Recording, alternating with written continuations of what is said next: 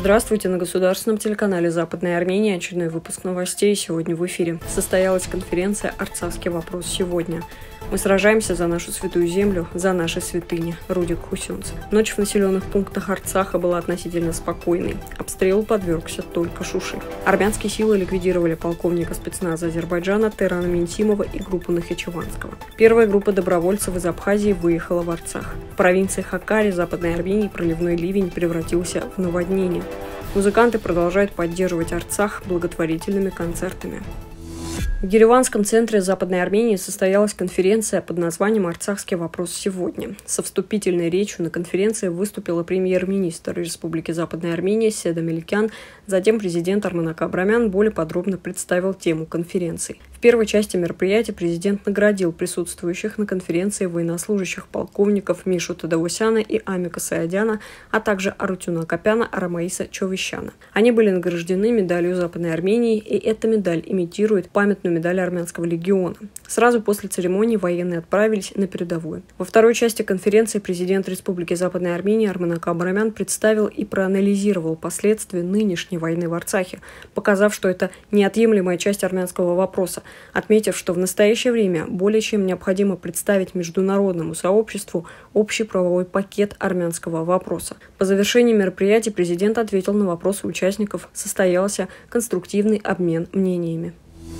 Мы хотим дипломатического решения, мы хотим выйти победителями из этой войны. Об этом в телефонном разговоре с mamul.am сообщил главный советник президента Республики Арцах, посол по особым поручениям Рудик Хусюнц, касающийся террористических атак Турции и Азербайджана против Арцаха. По его словам, в этой войне армянский народ воюет против семи-восьми государств. Более того, задействованы наемники, которые воюют с применением запрещенного оружия. Мы находимся в состоянии войны 40 дней. Мы сражаемся против демонических сил. Мы будем бороться до конца. Мы боремся за свою родину, святую землю, за наши святыни. Право Арцаха на самоопределение является приоритетом для всех нас. Мы должны обеспечить нашу победу на поле боя, отмечает Хусюнц. Ночь на 7 ноября в мирных населенных пунктах Арцаха выдалась относительно спокойной. Об этом Армен Пресс сообщили в Госслужбе по чрезвычайным ситуациям Арцах. После полуночи относительное спокойствие сохранялось в Степанакерте и других городах, кроме Шуши. Город-крепость Шуши регулярно подвергался ракетным обстрелам, сообщает Госслужба по чрезвычайным ситуациям Арцаха. Армянские силы на Гадрутском направлении Арцаха ликвидировали полковника Тарана Менсимова. Об этом сообщил на своей странице в Фейсбуке главный уполномоченный по делам диаспоры Заре Синанян. Два дня назад азербайджанцы распространили информацию о транспортировке своих спецназовцев из Нахачевана на материк в Азербайджан для борьбы с армянскими силами. Этот отряд возглавил полковник Таран Менсимов, который в августе этого года принял руководство Азербайджана-турецкой группировки в ходе учений в Нахичеване. Менсимов был отправлен на тот свет всего через два дня после после прибытия в Азербайджан, отмечает Синанян. Представители армянской общины Абхазии отправились на войну в Карабах в качестве добровольцев. Первая группа из более 20 человек отправилась 6 ноября. Ей уже выбрали и название «Амшен». При необходимости будут новые отряды. Фотографии добровольцев из Сочинского аэропорта в своем фейсбуке опубликовал помощник президента Абхазии Ахра Авицба. Каждый этнический армянин имеет право защищать свою родину. Поэтому первая ласточка. Добровольцы из Абхазии, группа Амшен. Ангелы-хранители каждому написал представителя президента Абхазии.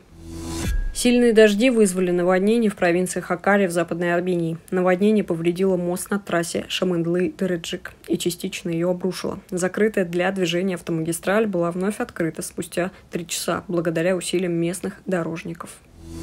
На площадке между церквями Святой Анны и Святого Католика 8 ноября состоится благотворительный концерт, вся собранная сумма от которого будет направлена в фонд страхования военнослужащих. Как передает Армен Пресс, концерт состоится в 12 часов дня, сразу после воскресной литургии. В концерте примут участие национальный квартет «Комитас», художественным руководителем которого является Эдуард Тадавусян, государственный камерный хор «Овер» под руководством Соны Ованисян, солисты Национального филармонического оркестра Армении, певец-композитор Ван Арцруни, дудуйкист Нурайр Карташян, дуэт Лилит Блыян и Тиграна Терстепаняна, и также актер Артур Карапетян. На сегодня у нас все. Далее мы представим вашему вниманию Масун Казгагракан Ерки Пари Хамуит.